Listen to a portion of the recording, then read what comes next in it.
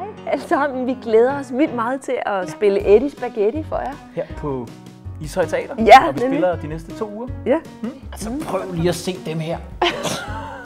De er kæmpe store. Ja, men øh, de kunne blive endnu større, hvis du også fik noget grønt at spise. Forestillingen handler om øh, drengen Eddie, som er en superhelt, og som kun spiser spaghetti. Jamen, jeg er superhelten Eddie Spaghetti! Ja, det var fordi, du ikke spiser andet.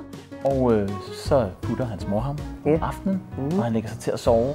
Og så oplever han noget, som øh, godt kunne minde om et eventyr, eller et mareridt, eller en drøm. Ja, vi synger i forestillingen. Ja. Øh, der er 4-5 sange tror jeg. Ja, det er der. Ja. Nu skal du lægge dig ned og sove. Slut med spaghetti.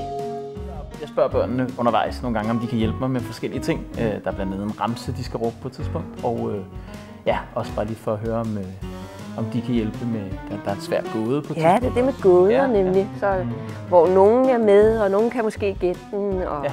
og øh, Eddie han har lidt svært ved at gætte den, og så Ja. får han hjælp af nogle børn.